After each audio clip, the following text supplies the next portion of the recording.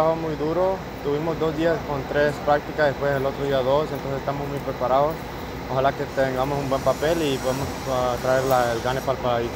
Primera vez que está en selección nacional mayor, ¿cómo ha estado el recibimiento de los compañeros? Pues me ha gustado mucho, ellos me han, uh, me han recibido con manos abiertas, entonces me ha sentido muy bien y estoy muy feliz de estar aquí. ¿Cómo trabaja el grupo para enfrentar esos partidos que van a ser, que van a ser importantes para Copa Oro? Uh, pues hemos estado trabajando mucho con la manera que vamos a defender y presionar, entonces eso es lo que vamos a enseñar en este juego contra Guatemala y ojalá que se mire bien para estar listo para la Copa Oro. Después de Guatemala se de Qatar un, Qatar un, un rival difícil. Sí, un, un, equipo muy grande y físico, entonces lo estamos preparando también la manera que presionamos, la manera que queremos jugar contra ellos para estar listos para eso, para que los prepare para la Copa Oro porque es un juego muy difícil y los va a ayudar obviamente para la Copa Oro. ¿Esperás seguir siendo tomado en cuenta por el profesor Hugo Pérez?